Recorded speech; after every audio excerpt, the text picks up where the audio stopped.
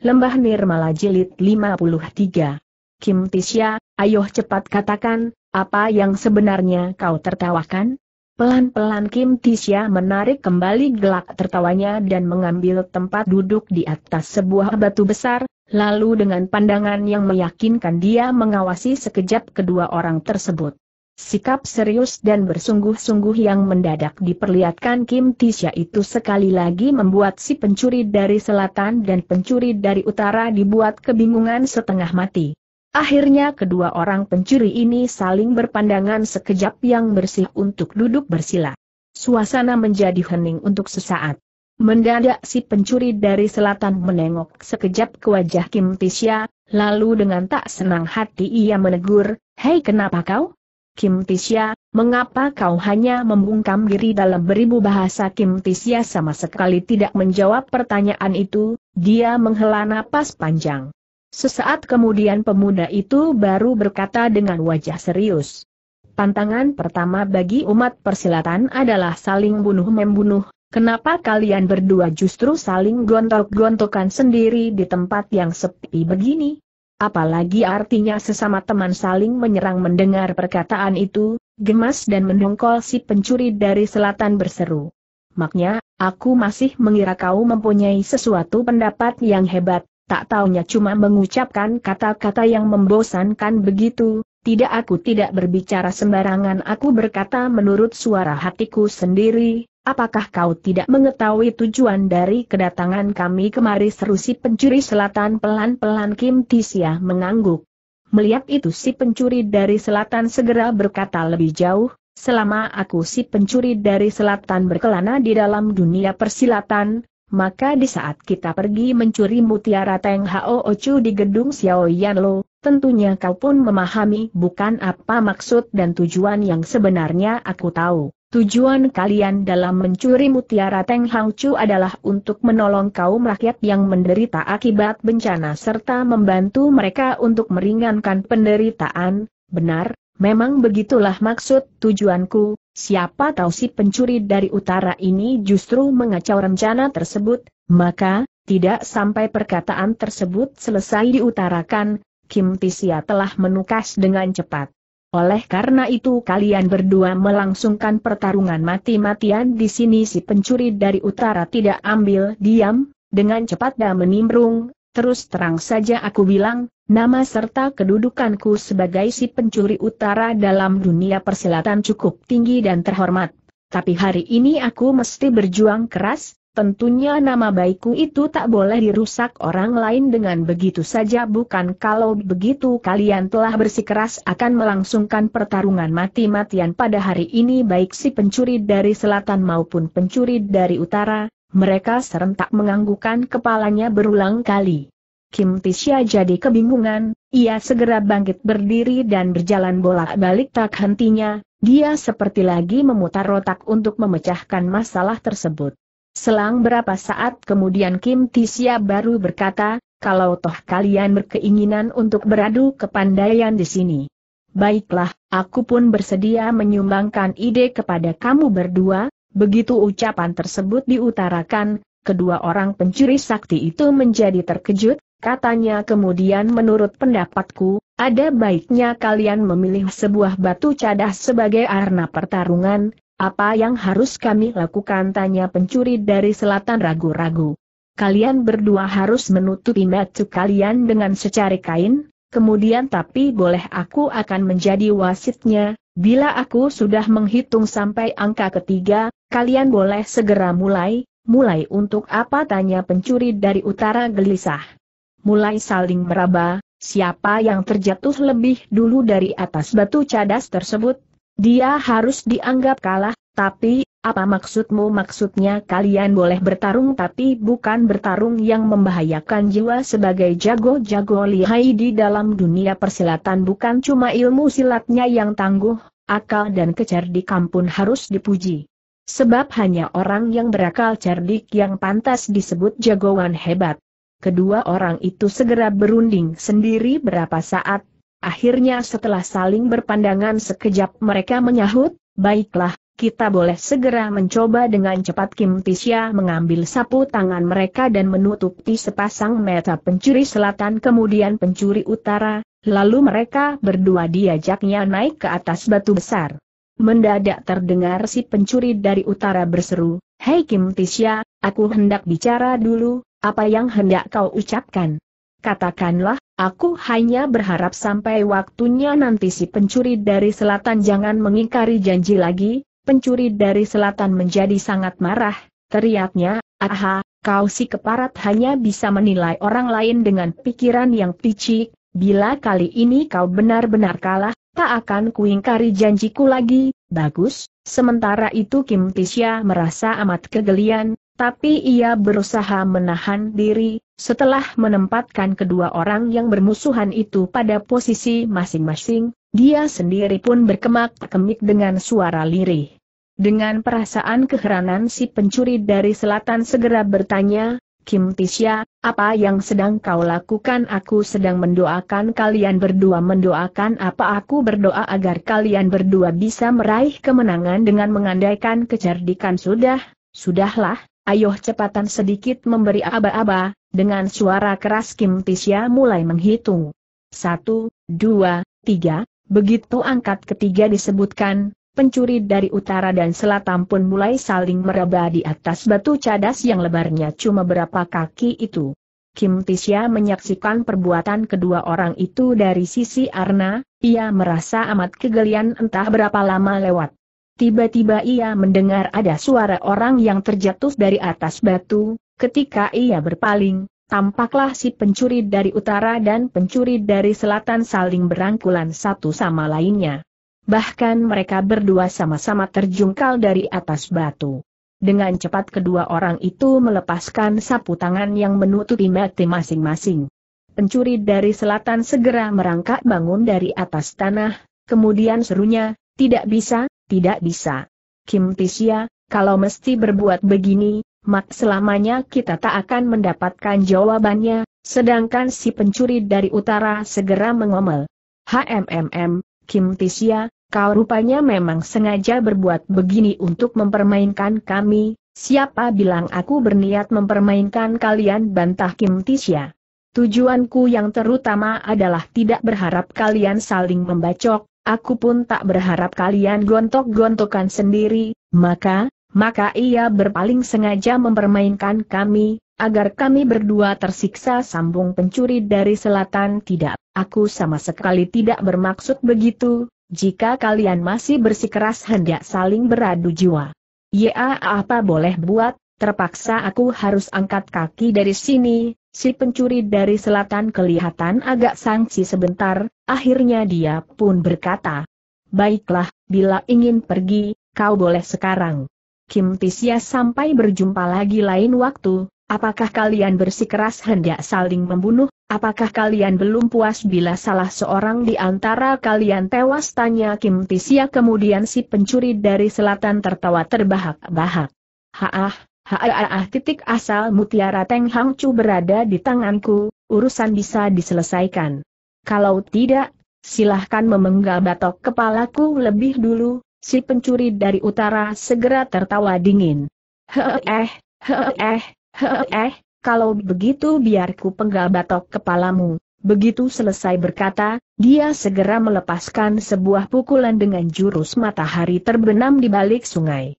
Bersamaan waktunya ia mendesak maju ke depan dan mengancam jalan darah Tiong Teng Hiat, Impoh Hiat dan Hiat Hin Hiat di tubuh lawan. Reaksi dari pencuri setan benar-benar amat cepat, belum lagi deruan angin serangan musuh meluncur datang, pedangnya telah meluncur lebih dulu ke depan dengan jurus pencabut nyawa berdiri tegak berkuntum-kuntum bunga pedang menyelimuti seluruh angkasa dengan cepat. Pertarungan sengit pun kembali berkobar. Sesungguhnya Kim Tisya berusaha untuk mencegah berkobarnya pertarungan, tapi sayang keadaan sudah terlambat. Melihat keadaan tersebut, tanpa terasa ia menghela napas panjang sambil berpikir, aaai, tampaknya soal memanah, kedudukan dan harta hanya menjadi bibit bencana bagi umat manusia, hanya gara-gara mutiara Teng Hang Chu saja kedua orang pencuri yang telah berusia lanjut itu harus saling gontok-gontokan sendiri macam anak kecil saja. Aaai, benar-benar keterlaluan, berpikir sampai di situ, ia segera menjura seraya berseru, Ciampoe berdua, aku benar-benar tak sanggup untuk menyelesaikan urusan kalian maaf kalau terpaksa aku harus mohon diri baik pencuri selatan maupun si pencuri utara sama-sama tidak menggubris teriakan itu, mereka telah memusatkan pikiran dan pertarungannya dalam pertarungan itu. Dengan perasaan berat Kim Tisia pun berpisah dengan mereka dan meneruskan perjalanannya. Dengan ilmu meringankan tubuh yang dimilikinya sekarang pemuda itu bergerak dengan kecepatan luar biasa, sekejap mata kemudian berpuluh-puluh li sudah dilewati tanpa terasa. Suatu ketika Kim Tisya mendengar suara deruan angin puyuh yang dingin menyeramkan berhembus datang. Sebagai seorang jagoan, Kim Tisya segera merasakan sesuatu yang aneh, cepat-cepat dia menghentikan langkahnya sambil melakukan terhadap sekeliling tempat itu. Tapi sungguh aneh, ia tak berhasil menemukan sesuatu apa pun di sekitar tempat itu bahkan yang terlihat di sekitar sana pun hanya sebuah hutan yang gelap gulita. Dengan langkah yang amat berhati-hati, pemuda itu menelusuri hutan dan menyelinap di antara pepohonan untuk mencari sumber suara aneh tadi. Akhirnya setelah melalui hutan yang lebar ia menemukan sebuah jalan setapak yang amat sempit. Di ujung jalan tadi terpancang sebuah tugu dengan beberapa tulisan yang amat besar, tulisan tersebut berbunyi begini. Aku yang membuka jalan ini, aku yang membeli tempat ini, bila ada yang ingin lewat, tinggalkan dulu batok kepalamu, membaca tulisan mana, Kim Tisia pun berpikir, sungguh tak disangka aku akan menjumpai tulisan semacam ini di tengah hutan yang terpencil begini, benar-benar suatu kejadian yang sangat aneh, dengan cermat sekali lagi berapa huruf yang berarti. Ditulis oleh orang Tiang Peksan, siapakah orang Tiang Peksan yang dimaksud? Kim Tisia tidak habis mengerti tapi timbul juga rasa ingin tahu di dalam hatinya. Sementara pemuda itu masih ragu-ragu mengambil keputusan, tiba-tiba, dari balik keheningan bergema suara gelak tertawa yang amat menyeramkan. Suara tertawa itu amat keras dan amat menusuk pendengaran Kim Tisia tertegun dibuatnya, ia segera sadar bahwa manusia yang menyebut diri sebagai orang tiang peksan itu merupakan seorang tokoh persilatan yang berilmu tinggi. Kalau tidak mustahil gelak tertawanya dapat menimbulkan getaran sekeras ini. Dengan suatu gerakan yang cepat Kim Tisya meloloskan pedang lengkuat kiamnya dan bersiap sedia menghadapi segala kemungkinan yang tidak diinginkan. Menyusul suara gelak tertawa yang amat mengerikan tadi, terdengar pula seseorang menegur dengan lantang. Haaah, haaah, bajingan bisuk dari mana yang berani mempu ate keonaran di sini belum sempat ingatan kedua melintas lewat dalam benaknya, Kim Tisia telah menyaksikan seorang kakek ceking berambut putih telah melayang turun di hadapannya. Kakek ceking itu memiliki sepasang mata yang tajam menggidikan, di atas bibirnya tertera sebuah codet bekas bacokan golok sepanjang 3 inci, dan danan maupun potongan mukanya memberi kesan yang menyeramkan bagi siapa pun yang memandang. Namun Kim Tisia tidak merasakan kesan seram tersebut, Malah pikirnya di hati, ia bisa bercokol di sini dengan peraturannya, pasti dikarenakan sesuatu alasan tertentu, karena berpendapat begini, Kim Tisya segera menjura seraya menegur, tolong tanya Ciam Poe, mengapa kau bercokol di sini dengan peraturan yang begitu aneh? Orang tiang peksan itu tersenyum sahutnya, ha-ah-ah, ha-ah-ah, ha-ah-ah, sudah cukup lama aku seorang gunung menanti di sini boleh aku tahu Ciam Poe, apa yang sedang kau nantikan? Kim Tisya makin tercengang. Aku sedang menantikan kedatangan dari para jago lihai dunia persilatan dan menantang mereka untuk berduel, Kim Tisya semakin keheranan lagi setelah mendengar perkataan itu, kembali dia berkata, Ciam Poe, apa maksudmu menunggu para jago dan mengajak mereka berduel kali ini orang dari tiang peksan itu tertawa seram. Ha-ah-ah, ha-ah-ah, Ciam Poe, apa yang gelikan aku geli terhadap C. Ingusan macam dirimu itu, ternyata kau pun berani berlagak di depanku. HMMM, tidakkah hal ini menggelikan, Sikap congkak dan tinggi hati dari orang ini dengan cepat mendatangkan kesan jelek di hati kecil Kim Tisha, namun dia pun berusaha untuk menghindarkan diri dari pertarungan tak berguna. Karenanya sambil tertawa paksa kembali pemuda itu berkata, aku pun mengerti, Tiam Poe bisa bercokol di sini tentu disebabkan sesuatu alasan.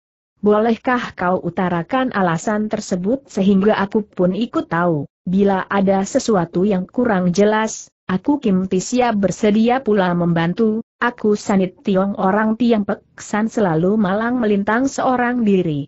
HMMM, dulu dengan susah payah ku cari si Raja Pedang berbaju putih dan mengangkatnya menjadi guru dengan harapan bisa mempelajari ilmu silat yang tangguh, tak disangka akhirnya guruku itu mati di saat bertarung melawan malaikat pedang berbaju perlente, Itulah sebabnya aku melatih diri di sini sambil menanti saatnya untuk melakukan pembalasan dendam. Wah, sungguh tak kusangka Ciam Poe adalah murid kesayangan si Raja Pedang berbaju putih. Maaf, maaf, belum habis pemuda itu berbicara, dengan gusar orang tiang peksan itu memotong. Siapa kau cepat sebutkan namamu, Kim Tisha mengangguk pelan, katanya, Aku adalah Kim Tisya anak murid malaikat pedang berbaju perlente, begitu mengetahui siapa yang dihadapi, amarah orang tiang peksan itu semakin membara, serunya cepat, bagus sekali, sudah tiga tahun lamanya aku menanti di sini, akhirnya kau munculkan diri juga di sini, tapi Ciam Poe, di antara kita berdua toh tak pernah terjalin permusuhan apa pun, mengapa kau menunjukkan sikap bermusuhan terhadapku seru Kim Tisia tercengang orang tiang peksan itu segera mendongakkan kepalanya dan tertawa terbahak-bahak. Haaah, haaah, haaah, kau tahu, apa sebabnya aku Sanit Tiong hidup menyendiri dalam jangka waktu yang lama di tempat seperti ini? Tak lain harapanku adalah suatu saat bisa bertarung melawan anak muridnya malaikat pedang berbaju perlente serta melampiaskan rasa dendamku Kim Tisya segera tersenyum. Ciam Poe, kau tak usah gusar, bila ada persoalan katakan saja sekar, terus terang mari kita selesaikan sekar baik-baik, tapi orang tiang peksan itu sama sekali tidak menggubris, tiba-tiba saja ia mendongakkan kepalanya dan berhembus keras-keras ke atas sebatang ranting pohon entah bagaimana jadinya, tahu-tahu saja ranting sepanjang lima enam kaki itu sudah terpapas kutung dan terjatuh ke atas tangannya. Menyaksikan kelihayan musuhnya, diam-diam Kim Tisha merasa terperanjat sekali. Terdengar orang tiang peksan itu berkata lagi, Marilah bocah muda, hari ini kau telah muncul di wilayahku, bila ingin berlalu dari sini maka kalahkan dulu aku, seusai berkata, kembali segulung desingan angin tajam berkelebat ke muka dengan hebatnya. Kim Tisya segera meloloskan pedang lengkuat kiamnya, lalu berkata dengan tenang, baiklah, kalau toh Ciam Poe berkeinginan untuk melangsungkan pertarungan, Kim Tisya tentu akan melayani keinginanmu itu sambil menggetarkan pedang lengkuat kiamnya, pemuda tersebut melancarkan sebuah terkaman kilat ke dada orang Tiang Peksan merasakan datangnya serangan yang begitu hebat, orang Tiang Peksan itu buru-buru mengeluarkan jurus cecak mendaki gunung, untuk meloloskan diri dari ancaman yang tiba. Dalam waktu singkat pertarungan berlangsung dengan serunya, 300 gebrakan kemudian keadaan tetap berimbang. Kim Tisya yang diserang terus-menerus akhirnya marah juga dibuatnya, darah mudanya membuat pemuda tersebut menyerang makin bersemangat. Secara beruntun dia melancarkan serangkaian serangan mautnya dengan jurus-jurus tangguh dari ilmu pedang panca Buddha, ia berusaha menekan lawannya sampai kepayahan. Namun orang tiang peksan itu pun tidak jeri, Sebaliknya dia justru mengembangkan pula ilmu silat andalannya untuk melancarkan serangan balasan. Terdengar ia berseru sambil menyerang dengan gencar, bocah keparat, bila aku tak mampu membelah dua tubuhmu dengan jurus serangan ini, percuma aku dipanggil orang tiang peksan Kim Tisya tak mau kalah, ia segera balas mengejek, HMMM, dulu guru musi Raja Pedang berbaju putih pun keok di tangan guruku sudah dapat dipastikan kau pun bukan tandinganku hari ini, lebih baik cepat-cepat menyerah kalah saja sambil mengejek pemuda itu segera mengancam jalan darah Ki Hiat, tubuh An Hoan Hiat, Koan Chiao Hiat dan Tian Teng Hiat dengan jurus naga sakti muncul di samudra, orang Tian Peksan bukanlah jagoan sembarangan, merasakan datangnya ancaman yang begitu hebat, cepat. Cepat dia punahkan ancaman dengan gerakan menggeser bayangan memindah posisi, lalu teriaknya, bocah kunyuk, Sungguh tak kusangka ilmu silatmu hebat sekali, tak malu kau menjadi anak muridnya malaikat pedang berbaju perlentek Kim Tisya sama sekali tidak menggubris. Tiba-tiba ia menyelinap ke belakang punggung orang tiang peksan dengan gerakan sepasang walet terbang berbareng. Baru saja pedang lengkuat kiamnya siap menusuk punggung lawannya tiba-tiba seorang tiang peksan itu membalikan badan, lalu melepaskan sebuah serangan balasan. Duuk, di luar dugaan serangan tersebut bersarang di dada Kim Tisya dengan telak. Pemuda itu segera mengeluh dan memuntahkan darah segar. Menyaksikan musuhnya terluka, orang tiang peksan tertawa senang, ejeknya, ha-ah-ah, ha-ah-ah, ha-ah-ah, bagaimana rasanya? Sekarang kasih kunyuk pasti sudah mengetahui bukan akan kelihayan aku si orang tiang peksan Kim Tisya mendengus dingin, biarpun dadanya terhajar sampai memuntahkan darah segar, namun berkat ilmu ciat KH ini KHI-nya yang lihai, kejadian tersebut sama sekali tidak berpengaruh banyak terhadap kekuatan badannya.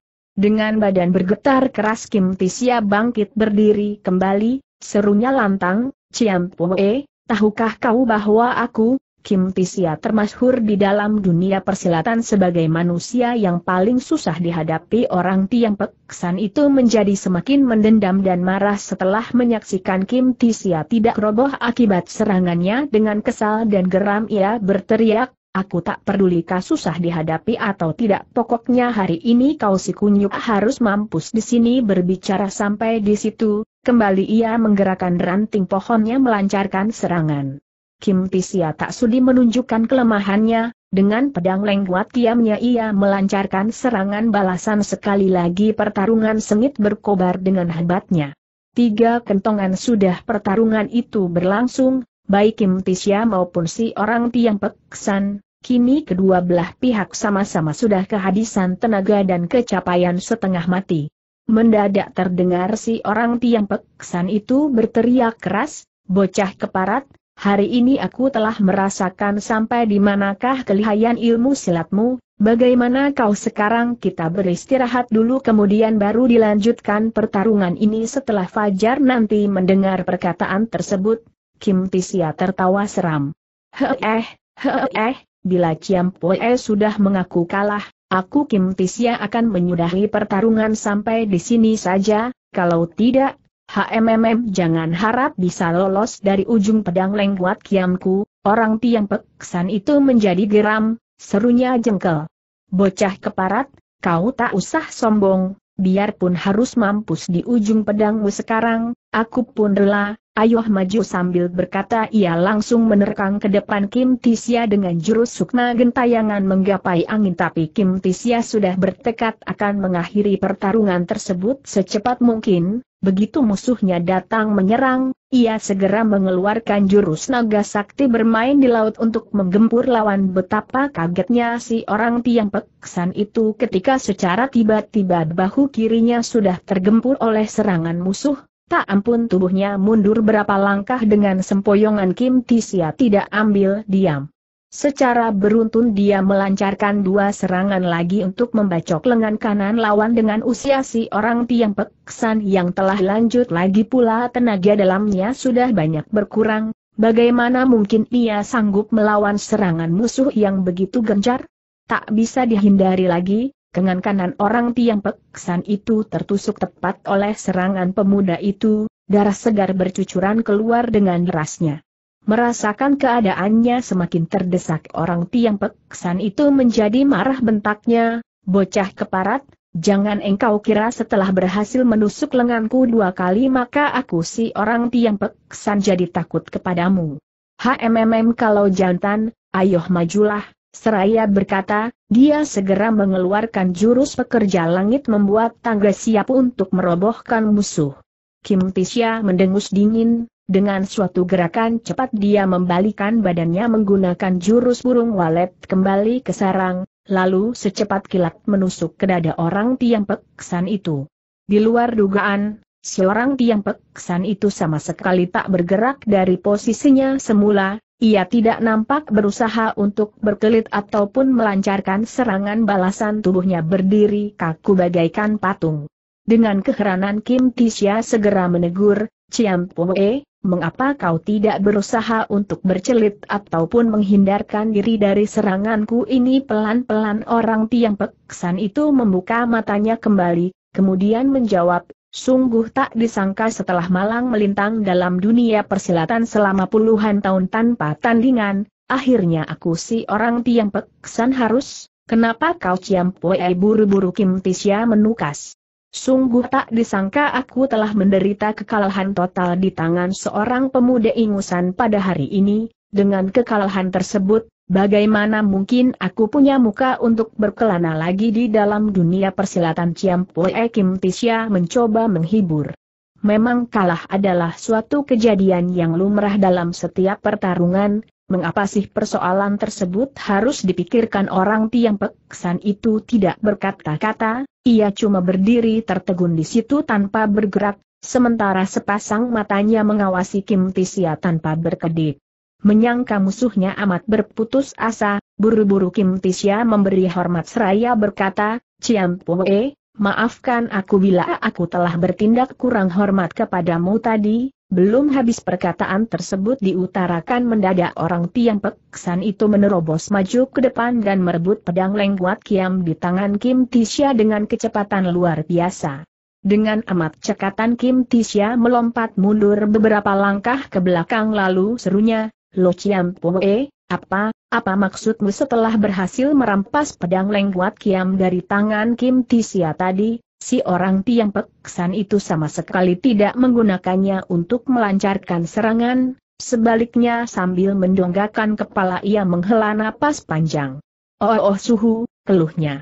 Dalam masa hidupku saat ini tak mungkin aku si orang tiang peksan membalaskan dendam bagimu tampaknya hal ini hanya bisa dibicarakan dalam penitisan mendatang, kemudian ia berdiri kaku di tempat tersebut, sikapnya persis seperti sebuah patung tembaga.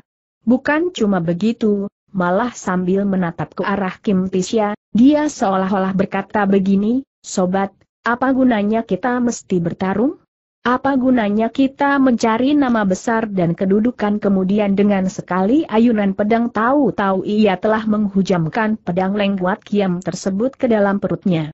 Kim Tisha tak sempat lagi menghalangi perbuatannya itu, tampak olehnya orang tersebut roboh terjungkal ke atas tanah sambil bermandikan darah segar. Untuk berapa saat lamanya pemuda itu hanya berdiri tertegun, dia seolah-olah dibuat terperanjat oleh peristiwa yang berlangsung di depan matanya saat itu. Sampai lama kemudian ia baru menghela napas panjang dan mencabut keluar pedangnya dari perut orang itu, setelah membersihkan dari noda darah, dengan masgul dan burung berangkatlah pemuda itu meninggalkan tempat tersebut. Pertarungan yang baru saja berlangsung seru membuat pemuda itu merasa amat letih tapi ia mencoba berjalan terus tanpa berhenti, dia berniat menggunakan kesempatan tersebut untuk pergi meninggalkan tempat tersebut sejauh-jauhnya. Angin berhembus sepoi-sepoi, hari berganti hari, Suatu ketika di saat Kim Tisha sedang menempuh perjalanan tanpa tujuan tiba-tiba ia mencium bau harum semerbak berhembus lewat. Bersama dengan berhembusnya angin sejuk itu, terlihat pula sesosok bayangan manusia menerjang datang ke hadapannya. Begitu melihat siapa yang berada di hadapannya, Kim Tisha jadi melengak, serunya tanpa sadar, oh oh, oh rupanya kau ternyata orang yang barusan datang bukan lain adalah Putri Kim Huan. Tampaknya gadis itu sudah berhasil memiliki ilmu meringankan tubuh yang cukup sempurna, gerak-geriknya sangat enteng, lincah dan cepat sekali. Melihat kegugupan serta kepanikan yang menyelimuti wajah gadis tersebut, dengan keheranan Kim Tisha segera menegur, Putri Kim Huan, mengapa kau aduh celaka, aduh celaka, Seru Putri Kim Huan dengan napas tersengkal-sengkal harap Kasudi menolongku, Kesulitan apa sih yang sebenarnya kau hadapi? tanya Kim Tisia keheranan dia, dia sedang mengejar diriku, dia, dia hendak membunuhku, seru Putri Kim Huan dengan cemas bercampur panik. Iya, sudah tahu kalau kau ada kesulitan, tadi siapa yang kau maksudkan sebagai dia sela Kim Tisya? Dengan cepat Putri Kim Huan menarik tangan Kim Tisya dan diajak lari menuju ke dalam hutan, Katanya kemudian cepat kita sembunyikan diri di sini, jangan sampai ketahuan orang itu, kau tak usah takut, katakan kepadaku siapakah orang yang sedang mengejarmu? kata Kim Tisya dengan suara dalam, ia menarik tangan gadis itu dan mengajaknya berhenti berlari. Tapi aku takut sekali keluh Putri Kim Huan dengan keringat bercucuran keluar. Wajahnya buas dan seram, ilmu silatnya lihai dan luar biasa sekali, Cepat-cepat Kim Tisya memeluk gadis itu erat-erat, kembali hiburnya dengan lembut, selama ada Kim Tisya di sini, kau tak usah merasa takut lagi berbicara sampai di situ, ia segera mengalihkan pandangan matanya ke arah mana berasalnya gadis tersebut. Di kejauhan situ terlihatlah sebuah titik hitam yang sedang bergerak mendekat dengan kecepatan luar biasa. Dalam waktu singkat bayangan hitam itu kian lama kian bertambah besar dan semakin dekat di depan mata. Ternyata orang itu adalah seorang jago persilatan yang sedang berlarian dengan pedang terhunus. Dengan mata melotot besar Kim Tisya segera berteriak, Hei pedang perak kenapa kau tergopoh-gopoh seperti orang yang gugup saja? Pedang perak nampak agak tertegun setelah mengetahui siapa yang berada di hadapannya, serunya tertahan, Tisya Sute, kau, sesudah berhenti sejenak, segera katanya lagi, apakah kau telah berjanji lebih dulu dengan perempuan ini dan kau sengaja menunggu kedatangannya di sini tidak sama sekali tidak ada kejadian seperti ini jawab Kim Tisya sejujurnya. Mendengar jawaban tersebut, si pedang perak segera tersenyum, katanya pelan, kalau begitu bagus sekali, harap kau segera menyingkir dari sini, Kenapa setelah melotot sekejap ke arah Putri Kim Huan dengan pandangan penuh kebencian si pedang perak berseru, aku hendak mencabut nyawa perempuan ini HMMM, kau tak bisa berbuat semena-mena di sini. Jadi kau tidak mengizinkan aku berbuat begitu tanya si pedang perak dengan wajah tertegun. Tepat sekali sebetulnya si pedang perak terhitung juga sebagai seorang jagoan yang angkuh dan tinggi hati, kontan saja ia merasa tak senang hati setelah mendengar perkataan ini, segera peringatnya, ku harap kau jangan main api, hati-hati kalau sampai membakar jenggotmu sendiri eh eh, omong kosong Kim Tisya tertawa dingin. HMMM, tahukah kau, mesti Putri Kim Huan berparas cantik, Sesungguhnya ia jahat, berhati busuk dan kejam seperti kala jengking itu kan terbatas pada pandanganmu seorang terhadapnya, bukan pandanganku, tapi memang begitu kenyataannya. Kenyataan yang bagaimana maksudmu mula-mula dia memikat Toa Suheng, dengan kecantikan mukanya, kemudian secara beruntun dan merayu si pedang kayu, pedang air dan lain-lainnya, dia perempuan jalang, huuh, ngaco belo, tukas Putri Kim Huan sambil meludah. Pedang perak tidak menggubris seruan tersebut, kembali ujarnya kepada Kim Tisya, gara-gara ulah perempuan ini, hubungan kami kakak adik seperguruan menjadi tak akur, lebih baik kau jangan menerjunkan diri lagi dalam persoalan ini, daripada kau sendiri pun turut tertipu, aku berbeda sama sekali dengan kalian tadi mungkin aku akan menimbrung dengan begitu saja, Putri Kim Huan yang mengikuti pembicaraan tersebut tiba-tiba menimbrung lagi, pedang perak katakanlah sejujur hati di dalam hal yang manakah aku pernah bersikap jahat kepadamu pedang perak tertawa dingin. Heeh, heeh, heeh, memangnya aku tak tahu akan semua ulahmu. HMMM, dengan bujuk rayumu kau berhasil membohongi si pedang air sehingga dia mengajarkan ilmu pedang 3000 air lemasnya kepadanya, tapi ia toh mengajarkan ilmu tersebut kepadaku secara rela dan tanpa paksaan. Tapi tidak seharusnya kau mencelakai si pedang air hingga tewas secara mengenaskan. Kau jangan menfitnah orang dengan kata-kata yang tak karuan. Bantah Putri Kim Huan cepat sekali lagi si pedang perak mendengus dingin. HMMM, setelah berhasil mempelajari ilmu silat dari si pedang air, siang malam kau telah menghisap sari lelakinya, kau menggunakan kecantikan wajahmu untuk merayu dan memikat hatinya sehingga pada akhirnya si pedang air tewas karena kehabisan air mani kau, kau jangan menfitnah orang dengan tuduhan yang bukan-bukan, jerit Putri Kim Huan sambil menangis tersedu-sedu. Kim Tisya segera berpaling ke arah pedang perak dan menegur, apakah kau mempunyai bukti dengan tuduhanmu itu kau ingin melihat mayat si pedang air yang tewas karena kehabisan air mani? Dia berada di tebing kuda liar, tidak jauh dari tempat ini sungguhkah itu tanya Kim Tisya agak tertegun. Tanpa terasa dia berpaling dan menengok ke arah Putri Kim Huan berada dalam pandangan dua orang pria secara bersamaan waktu. Putri Kim Huan segera merasa amat malu bercampur sedih. Putri Kim Huan tiba-tiba si pedang perak membentak lagi.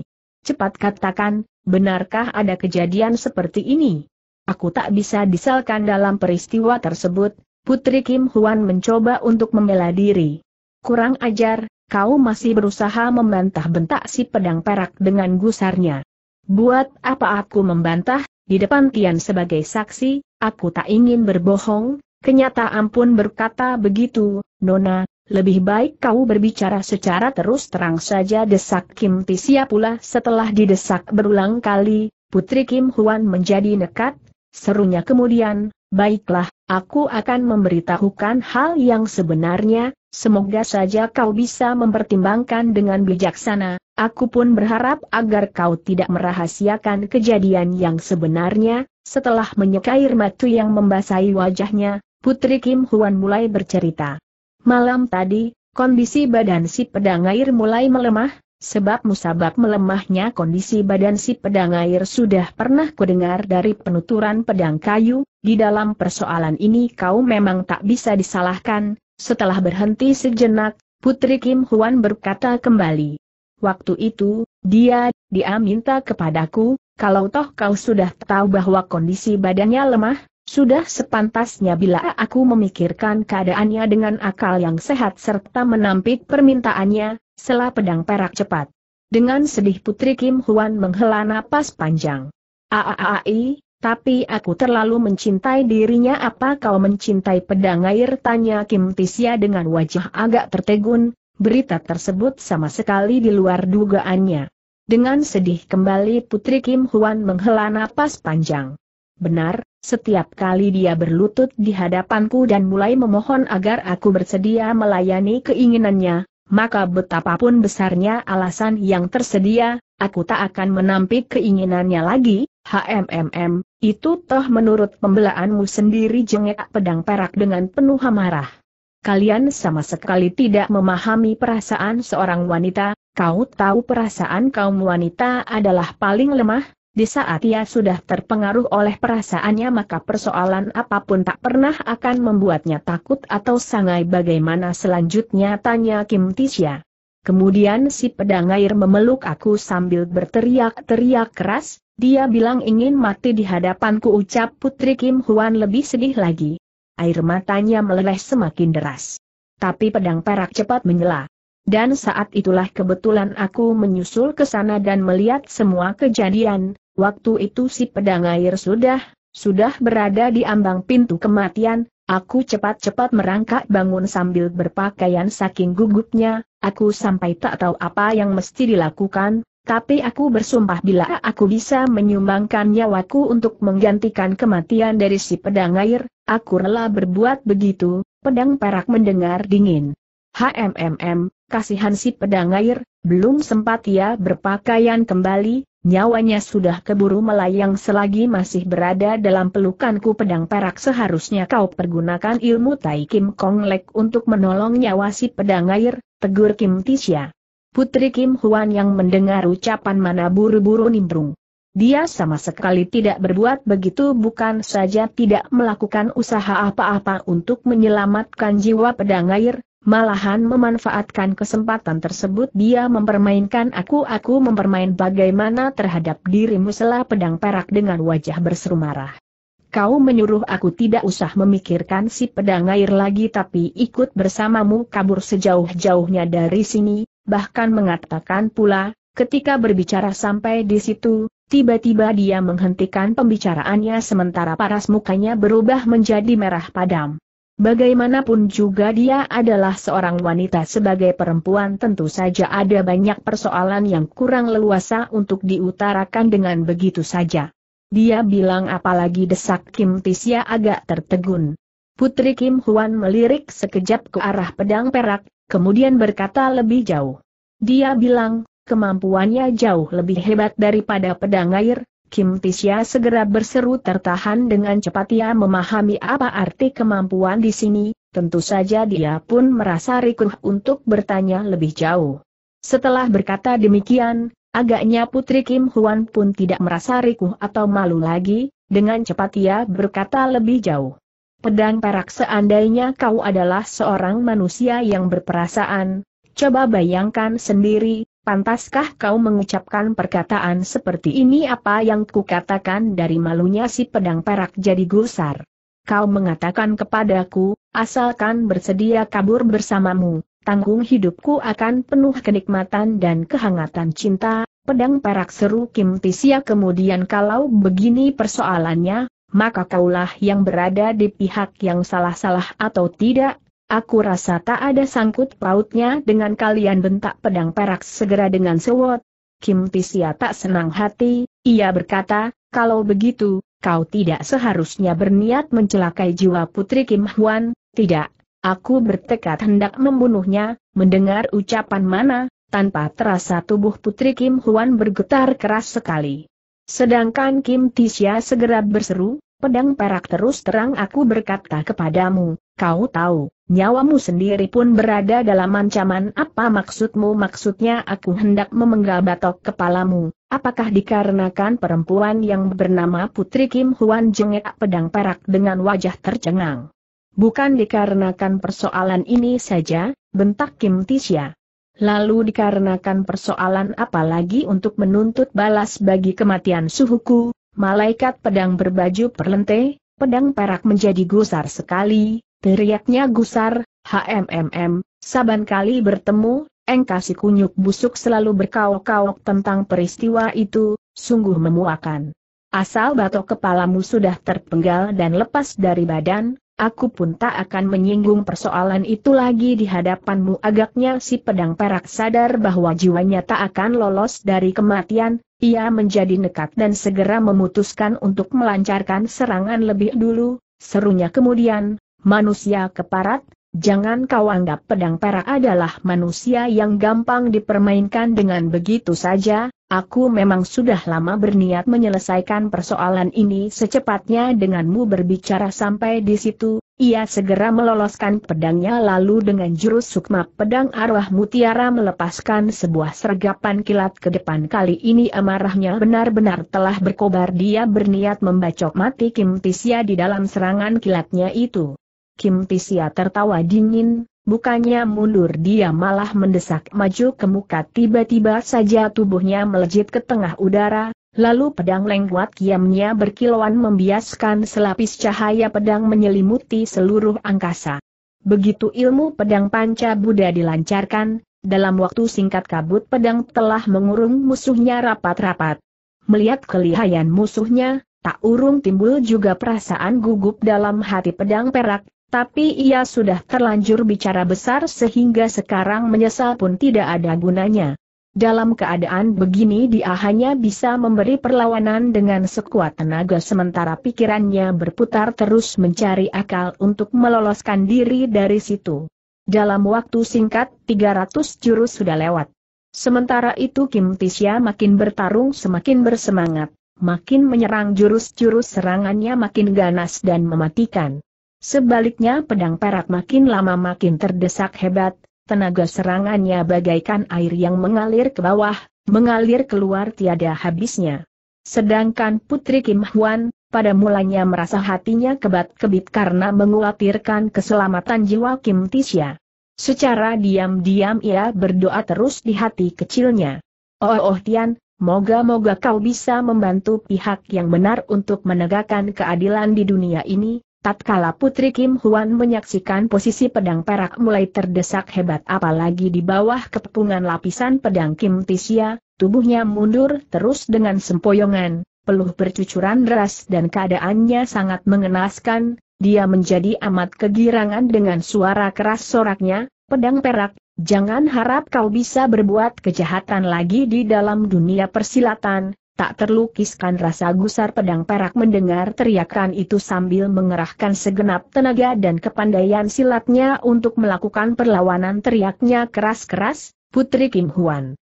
Kau jangan keburu bersenang hati, ha-ah-ah, ha-ah-ah, ha-ah-ah, aku justru merasa senang aku merasa gembira, jengek Putri Kim Huan sambil tertawa terbahak-bahak. Kemudian dengan suara lantang teriaknya lagi, aku ingin melihat batok kepalamu menggelinding terlepas dari badan aku pun ingin melihat hatimu hitam atau tidak warnanya, pedang perak benar-benar merasa mendendam. Tiba-tiba saja dia manfaatkan peluang yang ada untuk melejit setinggi tiga depa ke tengah udara, lalu melesat keluar dari arena pertarungan. Ilmu meringankan tubuh yang dipergunakan kali ini adalah ilmu seratus setan berubah wujud, bukan saja luar biasa anehnya pun amat jarang dijumpai dalam dunia persilatan untuk berapa saat lamanya Kim Tisya menjadi tertegun, tahu-tahu saja dia telah kehilangan jejak pedang perak. Ah ah ah ah, sungguh tak kusangka kau masih memiliki ilmu simpanan setangguh ini, keluh Kim Tisya dengan perasaan terkejut. Sementara dia masih tertegun, tubuh pedang perak telah melejit balik seperti bola karet, tahu-tahu ia telah menyerang datang lagi. Kali ini dia menyerang datang dengan kecepatan bagaikan kilat, pada hakikatnya tidak memberi kesempatan kepada orang untuk mempertimbangkan lebih dulu. Dalam keadaan begini Kim Tisya tidak melakukan tindakan apa pun, dia cuma berdiri termangu-mangu di posisi semula. Putri Kim Huan yang menyaksikan kejadian itu menjadi amat terperanjat dengan peluh dingin bercucuran membasahi tubuhnya, ia berteriak, hati-hati, belum habis seruan tersebut, pedang si pedang perak telah mendesak muncul di depan mata. Pedang perak mendengus dingin, begitu pedangnya diayun ke depan, ia sudah memperhitungkan bahwa pedang lengkuat kiam di tangan Kim Tisya tentu akan menyongsong ke depan, maka dia segera melepaskan pula sebuah pukulan tangan kirinya dengan kekuatan luar biasa. Bocah keparat, hari ini kau tak akan lolos dari tanganku lagi, jiwamu hanya bisa selamat bila matahari dapat terbit di langit barat mimpi pun Kim Tisya tak pernah menduga sampai ke situ, dia tak mengira kalau di saat terakhir musuhnya masih mengeluarkan ilmu simpanan yang begitu dahsyat. Sadar bahwa ia tak mampu memusnahkan serangan tersebut, cepat-cepat pemuda itu mengerahkan ilmu ciat KH ini KHI-nya untuk menahan setiap serangan yang datang sementara tubuhnya melompat mundur dengan sempoyongan sayang sekali gerak serangan dari si pedang perak meluncur datang dengan kecepatan luar biasa, Kim Tisya tak sempat lagi untuk menghindarkan diri. Blaaam, di mana angin pukulan itu menyambar lewat, pusaran angin tajam menyebar ke mana-mana dan membumbung ke angkasa. Putri Kim Huan pun tidak mengira akan datangnya pusaran angin tajam tersebut. Tak ampun tubuhnya segera tersambar hingga jatuh terjengkang menubruk di atas dahan pohon, gadis itu menjerit tertahan lalu memuntahkan darah segar. Waktu itu, Keadaan Kim Tisya lebih mengenaskan lagi, dengan jurus serangan pedang perak yang begitu aneh, bukan saja ia berhasil meraih kemenangan dari kekalahannya, bahkan berhasil pula merobohkan Kim Tisya dan membuat pemuda tersebut memuntahkan darah segar. Sambil tertawa terbahak-bahak si pedang perak mengejek. Bocah keparat, habis sudah riwayatmu kali ini, ha-ah, Haa dalam keadaan begini dia dicekam rasa bangga yang meluap-luap sehingga dia pula kalau Kim Tisya memiliki ilmu ciat KH ini KHI yang mampu menahan pukulan serta menyelamatkan dirinya dari luka yang parah. Sementara itu Kim Tisya telah merangkak bangun kembali. Baru selesai si pedang perak tertawa tergelak tiba-tiba saja Kim Tisya melompat bangun dan menyerbu ke depan sambil melancarkan serangan dengan jurus kejujuran mengalahkan batu emas. Dalam gusar dan dendamnya, Kim Tisya telah mengerahkan tenaganya hingga mencapai sepuluh bagian, bisa dibayangkan betapa dahsyatnya serangan tersebut. Benturan keras yang memekikan telinga segera bergema di angkasa dan hampir boleh dibilang menyelimuti gelak tertawa pedang perak. Mendadak terdengar jerit kesakitan yang memilukan hati bergema di udara. Tahu-tahu terlihatlah tubuh pedang perak mencelat ke belakang kemudian roboh terjungkal ke atas tanah. Ia cuma berkelejitan beberapa kali, kemudian menghembuskan napasnya yang penghabisan. Melihat kematian si pedang perak, Kim Tisha mendengus dingin, kemudian pelan-pelan mengalihkan pandangan matanya ke arah Putri Kim Huan waktu itu, Putri Kim Huan masih berbaring di tepi pohon sambil merintih kesakitan. Cepat-cepat Kim Tisha membimbingnya bangun dan menegur, bagaimana keadaanmu sekarang? Putri Kim Huan menghembuskan napas panjang, lalu manggut-manggut. Keadaanku masih rada mendingan, dengan seksama Kim Tisha mengawasi sekejap keadaan wajah tersebut, setelah yakin kalau lukanya tidak berbahaya, hatinya baru terasa amat lega katanya kemudian bagus sekali kalau begitu bagaimana apakah pedang perak telah mampus tanya Putri Kim Huan sambil tertawa. Pedang perak telah meninggalkan dunia ini dengan membawa semua dosa serta kejahatannya, dia mati dengan mata melotot besar. Mendapat pertanyaan tersebut, Kim Tisya mengangguk. Ya benar, pedang perak sudah mati konyol manusia berhati busuk semacam dia memang tak ada perlu dikasihani, dia harus dibunuh secara keji, kenapa bila manusia berhati busuk macam dia bisa mati dengan tenang, bukankah kejadian lebih menyayangkan lagi Putri Kim Huan segera tertawa. Tak kusangka pikiranmu sudah sejauh itu, aku, melihat gadis itu ragu-ragu untuk melanjutkan kata-katanya, dengan cepat Kim Tisya bertanya, apa yang ingin kau katakan? Katakan saja berterus terang, aku merasa amat berterima kasih kepadamu ah, ah. Soal itu mah tak perlu dibicarakan lagi, ucap Kim Tisya sambil tertawa nyaring. Tapi untuk kesekian kalinya aku telah menyelamatkan jiwa kau lagi, sudah sepantasnya bila kita hidup di dunia ini saling tolong-menolong, apalagi sebagai sebagai anggota persilatan, Aku memang berkewajiban menolong kaum lemah dari penindasan kaum kuat, Putri Kim Huan segera menghela napas panjang, tanya tiba-tiba, apakah kau menyukai kehidupan dalam dunia persilatan? Kini aku sudah hidup dalam dunia persilatan, Kenapa mesti dipersoalkan kembali suka atau tidak seandainya kau merubah lingkungan hidupmu serta merubah kebiasaan hidupmu dalam suasana yang lain apakah kau bersedia untuk menjalaninya tidak karena aku memang ditakdirkan sebagai manusia pengembara yang hidup di alam dunia persilatan. Putri Kim Huan segera tersenyum, katanya lembut, tapi takdir belum tentu akan membiarkan seseorang hidup menuruti kehendak hatinya, apa maksudmu tanya Kim Tisya agak tertegun. Kuharap kau jangan terlalu kesemsem dengan kehidupan tak menentu yang penuh dengan rintangan, percobaan serta ancaman bahaya maut ini, Kim Tisya segera tertawa. Ada kalinya aku pun pernah berpendapat demikian tapi, apalagi yang kau risaukan dendam sakit hatiku belum terbalas penghinaan yang pernah kualami belum pernah kutuntut, lagi pula aku masih berhutang budi kepada beberapa orang, tapi kesemuanya itu tak terhitung apa-apa, sama sekali tak ada harganya untuk dipikirkan, seru Putri Kim Huan cepat. Kemudian setelah berhenti sejenak lanjutnya, kau toh bisa saja membuang jauh-jauh semua persoalan tersebut serta tidak memikirkannya lagi apa yang harus kulakukan tanya Kim Tisya ragu-ragu. Aku hanya berharap kau bisa memahami apa maksud tujuan seorang manusia hidup di dunia ini, kita hidup untuk merasakan serta menikmati kebahagiaan hidup, sayang sekali aku tak punya rezeki untuk merasakan kesemuanya itu keluh anak muda tersebut. Siapa bilang begitu? Kau pun dapat merasakannya, jerit Putri Kim Huan keras-keras. Kemudian setelah berhenti sejenak lanjutnya lagi, ikutlah bersamaku kembali ke negeri Kim ayah baginda pasti akan menerimamu secara baik-baik dan sejak itu pula kau akan terangkat menjadi kaum bangsawan.